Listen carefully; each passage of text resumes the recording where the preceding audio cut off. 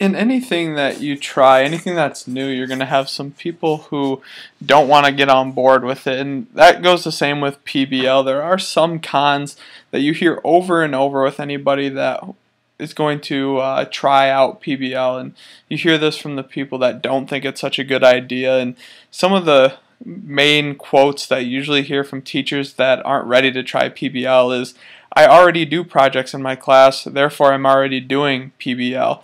Another one is teachers don't teach. They're just kind of there and it takes the teacher out of the classroom. And the last thing you hear a lot of times with people who are against it is PBL will prevent me from covering all of my content.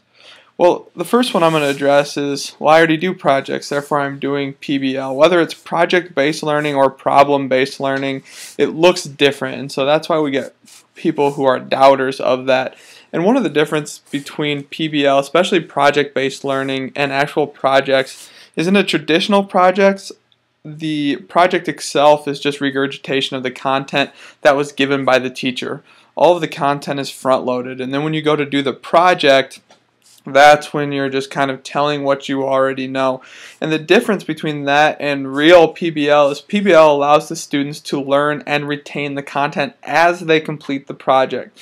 So they're being self-directed learners and they're uh, taking the initiative to learn learn the information.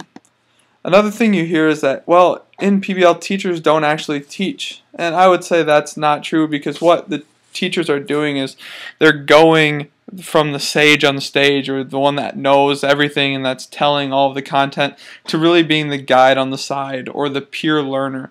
Their job is now to walk around the room and work with the students that don't understand the content as well. They can pull out students and do individualized lessons to help them understand, but they're not standing in front of everybody and going at the same pace. This also allows some of the students who are further advanced to move at their own speed and get ahead. The other thing you also hear with teachers who aren't wild about PBL is PBL will prevent me from covering all of my content.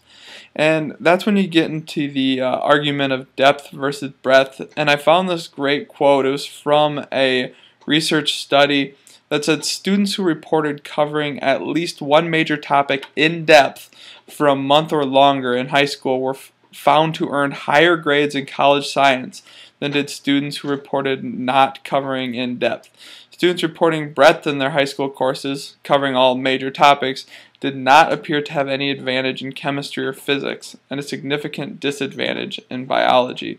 So this just goes to show that even if you do less content, but you do it more in depth, the students are going to get more from that, and that's where PBL is going to come in because projects and problem-based learning does take longer than just the normal traditional classroom. So you can see that this is going to have its advantages in the lower level courses like those basic freshman courses that everyone needs to take but it's also really important when you get into the upper level electives especially um, courses like government and world history where the students can do more uh, projects that are real world and that can be relevant to their lives.